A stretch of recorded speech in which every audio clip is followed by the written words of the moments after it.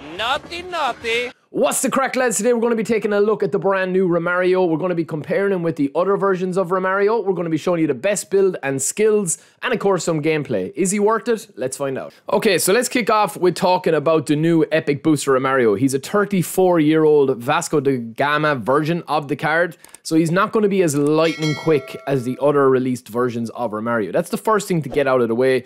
And then also on top of that, as well, as we take a look at his profile here in a second, the big selling point of this Romario is that you can have an end game, one of the best CFs in the game, with a 50 box. So it's not in a 150 box, it's a 50 box. So you can kind of clear this easily enough. I mean, I've seen people get him in their free spin. I've seen people get him in a 110 pack spin, so it's going to be 900 coins. I think if you're going this is a hard one because if you are spinning two 10 pack spins and it's going to cost you 1800 coins, I think it's probably worth that. It's probably worth about 2000 coins to guarantee yourself for a Mario. But if you don't get it in two, in two spins or 2000 coins, I feel like it is a bit of a bust to go any deeper for him because there's just so many good CFs in the game that can do a job for you.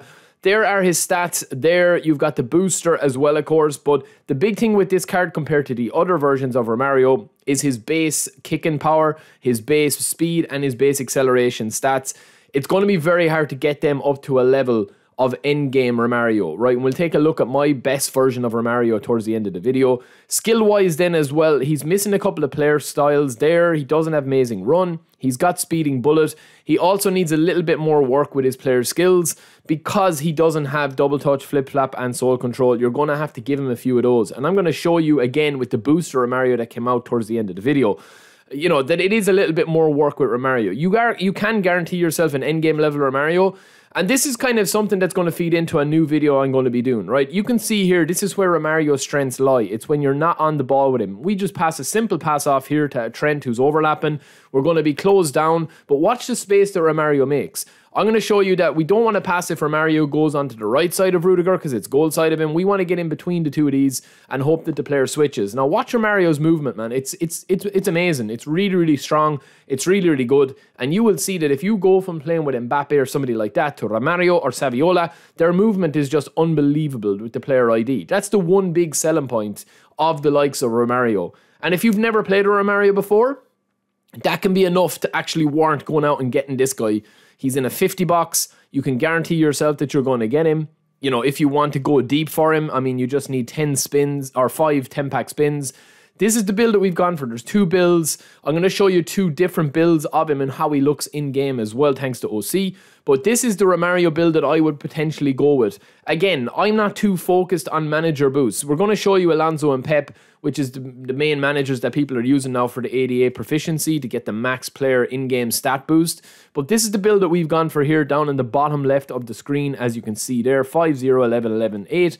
Lower body strength is going to be an issue. Kicking power is going to be a slight issue. But everything else on this card is very, very nice. You know, you're going to have a really good end game level CF that you don't need to spend a massive, a massive amount. I mean, I've seen people go super deep on boxes of 150. We've done it ourselves where we've gone down to the last 10 pack spin you know, if you want a guarantee 50 pack, I mean, if as an entry level Romario, it definitely is a good one. This is with uh, Xabi Alonso. You'll see he gets the boost to the acceleration, so he gets 91 acceleration. It's the same builds, but just obviously the difference between the plus one to the uh, acceleration stat, and then with Pep, it's going to be a plus one to his tight possession stat. Everything else stays the same. Every manager boost stays the same, apart from the individual stat that they're going to get. And of course, Ten Hag booster is going to give you the boost to his speed. So it, yeah look, it does depend on what kind of player you want to have up front. I think that if you are pushing rank, if you are looking for more wins, you definitely need a player that has just got lightning quick movement and excellent movement off the pitch, off the ball.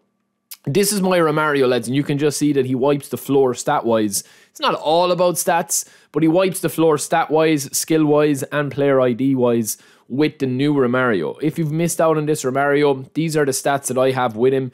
It's just a fantastic card built for one purpose and one purpose only goals. Pure destruction up front, flip flap and double touch off the rip with this Romario. So we just threw sole control on him. And then any other skills you want to give him is just a bonus. And you can see I often don't play with Mario lads because he's a guaranteed goal a game. Honestly, I score a goal a game with him. It doesn't matter who I'm playing he just guarantees a goal a game. So yeah, final thoughts coming up next. Final thoughts in Romario. I don't think that it's worth spinning, especially if you have another version of Romario. Any other version of Romario is going to make the same same runs, the same style player, same AI, same player ID. I feel like this Romario is definitely just like an entry point Romario that you can guarantee yourself with 10, 10 pack spins or 10 10 player spins. You can get a Romario that's going to be pretty much end game. He's still a beast. I mean, you see the stats there. But if you have another version of Romario, or I include Saviola, any of those run and gun, Mbappe, any player that's scoring goals here by run and gun, you can just stick with them, in my opinion. Um, but yeah, definitely a good entry point. Let me know if you're going to spend for him. Let me know if you're going to get him, and we'll talk to you in the next one.